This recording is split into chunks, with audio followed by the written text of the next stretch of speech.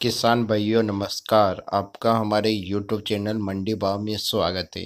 तो किसान भाइयों, आज के इस वीडियो में हम बात करेंगे कि 2020 के अंदर आपको लहसुन में कितना भाव देखने को मिलेगा। और दोस्तों, साथ में हम ऐसे भी बात करेंगे कि दो हज़ार उन्नीस के अंदर आपको जो भाव मिला था लहसुन में, बढ़ से बढ़ चढ़ कर बीस साल का रिकॉर्ड तोड़ा है लहसुन ने। उतना भाव क्या आपको 2020 के अंदर मिलने की संभावना लग रही है या नहीं लग रही है? तो दोस्तों, सब कुछ हम इस वीडियो में बात करने वाले हैं लहसुन की तेज़ी मंडी रिपोर्ट के बारे में। तो दोस्तों, हम सही और सटीक विश्लेषण बताने वाले हैं। दोस्तों, आप हमारा वीडियो पूरा देखें। और दोस्तों, अभी तक आपने हमारे चैनल को सब्सक्राइब नहीं किया है तो सब्सक्राइब कर दीजिए और उसके पास के घंटी के निशान पर आप अवश्य बटन दबा दीजिए ताकि आपको हमारे आने वाले वीडियो के नए नोटिफिकेशन जल्दी से जल्दी मिले। तो दोस्तों, अगर हम वीडियो में बात करते हैं लहसुन के भाव की 2020 के अंदर तो दोस्तों आपको 2020 के अंदर लहसुन का भाव बढ़िया देखने को मिलेंगे।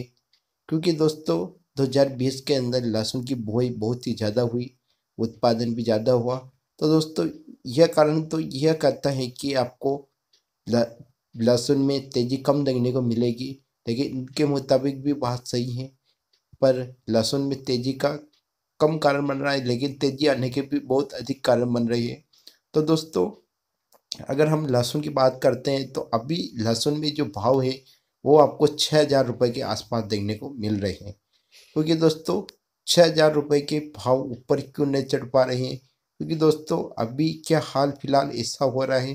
कि जो अपने भारतीय किसान भाई लोग हैं, वो लहसुन को अपने खेत से निकाल कर डायरेक्ट मंडियों तक ले जा रहे हैं, जिससे कि वहाँ हवकों का ज़्यादा होने की वजह से लहसुन में आपको थोड़ी गिरावट देखने को मिल रही है।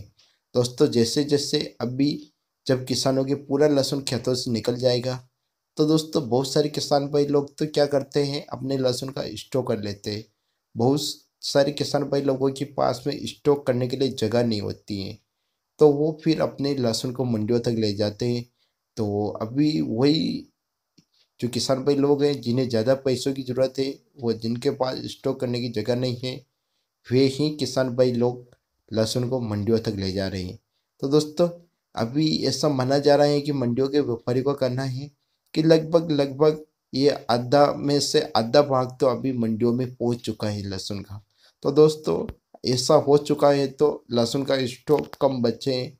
बच्चे हैं, ऐसा नहीं कह सकते हैं, हम नाम मात्र के बच्चे हैं, लेकिन लगभग आधा के आसपास मंडियों में पहुँच चुका है और आधा लहसुन के आसपास व्यापारियों ने और किसान भाई ने स्टॉक कर रखा है।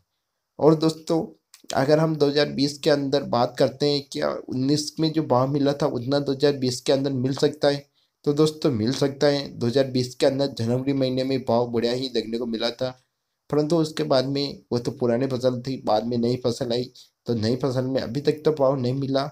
लेकिन आगे आने वाले समयों में भाव मिल सकता है, क्योंकि दोस्तों इनका प्रमुख कारण है, चीन में आयात निर्यात बंद कर दिया है, गया है। क्योंकि दोस्तों, ऐसे बहुत सी बीमारियाँ हर साल अपने भारत में या इसके अलावा अन्य में आ जाती हैं तो वो धीरे धीरे अपने भारत में प्रवेश कर जाती है। तो अभी जो चीन में जो बीमारी आई है, वो धीरे धीरे भारत में प्रवेश कर रही है।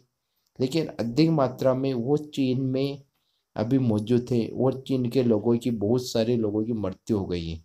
जिसके कारण वहाँ किसी भी वस्तु, फ़सल, अनाज, लहसुन सभी पर पूर्ण रूप से प्रतिबंध या रोग लगा दिया है।